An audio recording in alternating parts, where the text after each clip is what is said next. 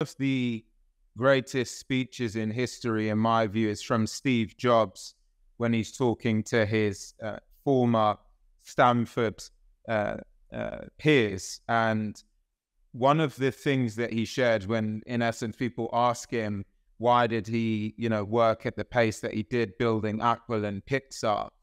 And he said he realized that he needed no greater motivation than knowing that one day he would not be here anymore.